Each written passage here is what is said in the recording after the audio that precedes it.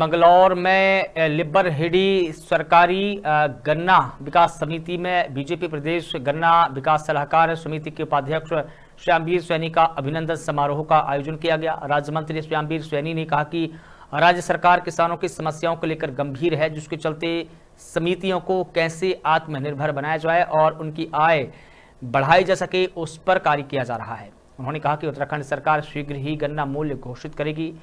उनका प्रयास रहेगा कि प्रदेश में अन्य राज्यों की अपेक्षा किसान को अधिक गन्ना मूल्य दिया जाए।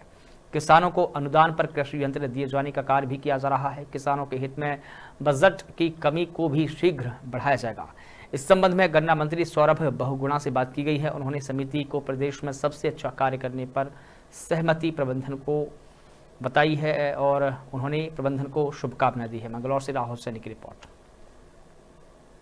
देवभूमि उत्तराखंड का द्वार हरिद्वार है। और हरिद्वार में भी सबसे पहले हम यहाँ इस नारसन ब्लॉक में इस गन्ना मंडी से गुजर कर आगे बढ़ते हैं। और एक किस्म से मैं कहूँ कि गन्ने का सर्वाधिक अगर उत्पादन होता है तो उसी क्षेत्र में ये सिंचित क्षेत्र है। और यहाँ का किसान भूमिपुत्र बहुत मेहनती है। मात्र गन्ना हमारे तीन जिलों के अंदर है, तेरह में से। सर्व सर्वाधिक हरिद्वार में है, फिर उधम सिंह नगर में है और इधर देहरादून के कुछ मैदानी भागों में है। तो यहाँ का किसान गन्ने की का भरपूर उत्पादन करता है। उनकी क्या समस्याएँ हैं?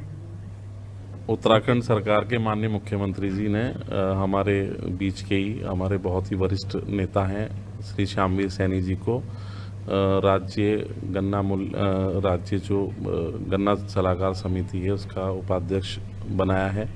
तो उसी के निमित्त आज यहाँ पर हमारे किसान भाइयों ने, हमारे कर्मचारियों ने, हमारे अधिकारियों ने यहाँ गन्ना समिति लिपरेडी में आज इनका स्वागत किया है और स्वागत के लिए आए हैं और मंत्री जी स्वागत से ज़्यादा पसंद करते हैं कि लोगों से संवाद करूँ, लोग चीज़ों को मैं